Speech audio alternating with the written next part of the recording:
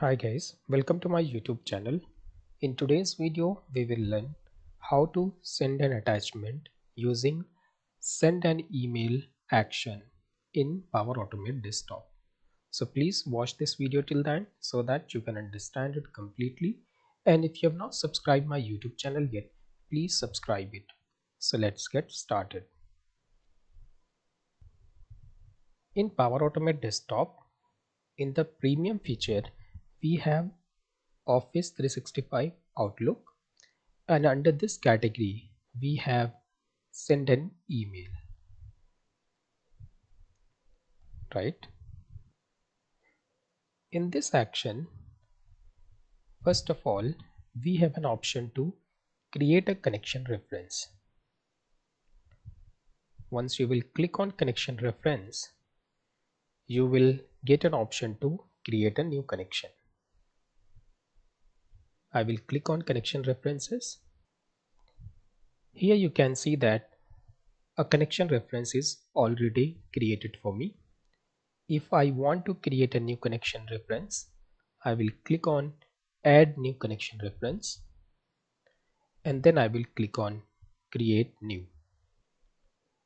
Once you will click on create new, you will have to enter the email ID and password and once the authentication is done your connection will be established and a reference will be created. As a connection reference is already created for me I will just click on OK to close this window. And here you can see that we have three important fields. One is to where you need to specify the recipient's email IDs and here in the subject you have to specify the subject of the email and then you have the body. Further once you will click on advanced you can specify the sender email you can specify the people in CC and BCC here is the important part of this action. If you want to attach an attachment in this email you need to click on edit and then you need to click on more where you can specify the name of the attachment and content bytes now the thing is that how do I get this content bytes for that what you need to do is you need to use an action which is named as convert a file to binary data okay. So we will see that in action in few moments. For now I will click on close. And here in the sensitive field you can specify the sensitivity of the email. Right? You can specify the email ID whom you want to reply to. And you can also specify the importance and timeout Further, you have an option to use the on error property in case this action fails. So if you want to do some error handling, you can click on on error and here you can apply your error handling mechanism. I will click on return to parameters and then I will click on cancel and here what I will do is first of all I will create two input variables. One will be the email ID whom I want to send an email. So I will just mention to email. Data type is going to be text. Default value I will leave it as blank. And the external name is going to be the to email. Default value I will specify the email ID here. Okay. If you want to make this variable as sensitive I will enable this. And if you want to make this input variable as optional you can enable this. But in our case to email is going to be a required field so I will leave it as it is so here what I will do is I will enter the default value for this variable and then I will click on save. So the value has been set and the variable has been marked as sensitive. I will create another variable. I'll name it as from email. Data type is going to be text in the default value I'll specify the name of the or the email ID from where I want to send this email an external name and variable name. I'm going to keep it as same. I'll mark it as sensitive. After entering the value in the default value field I'll click on save so now I have two variables. One is from email and then we have to email. Here in the file explorer you can see that I have a file which is named as test. And here I have some data which is hello world. I can enter some more data as technical training. Please subscribe the channel I will press Ctrl S to save and then I will close it. I will copy the file path and then I will minimize the file explorer.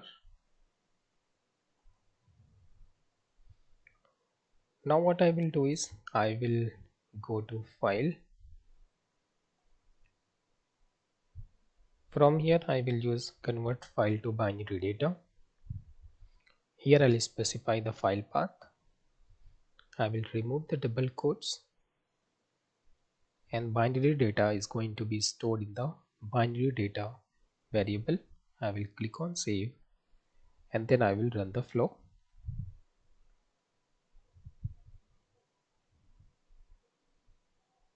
So the binary data is stored in this variable. Now I will go to Office 365 Outlook. From here I will take send an email.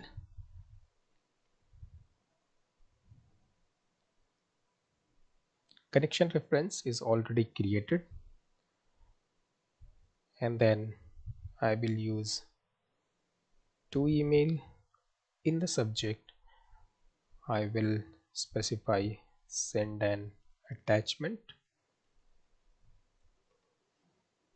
in the body I will specify the some text I please find the attachment and regards technical training. Now we'll click on advanced. Here I'll specify the from email. And then I will click on edit. I will click on more. And here I'll specify the name of the file which is going to be there in the attachment. So it is not the name of the file from where you have read the data. Any name you can give for the attachment so for example I read the data from test.txt but here I can give as test underscore 2.txt so when the recipient receives this email they will have an attachment with the name as test underscore 2 in the content bytes I will use variable which is binary data and then I will click on OK and then I will click on save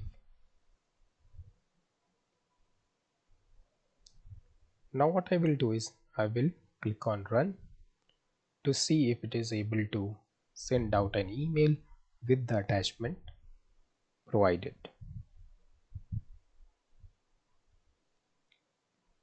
The execution has completed successfully. Now we will see the email. Here you can see that we have got an email with the subject which we had given while sending out an email. And here you see that we have a attachment which is test underscore 2 and here is the body of the email. Okay. Now I will open this attachment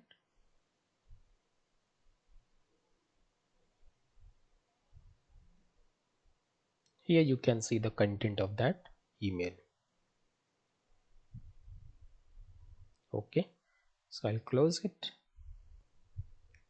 So this is how you can send out an attachment using send an email action of Office 365 Outlook in Power Automate desktop.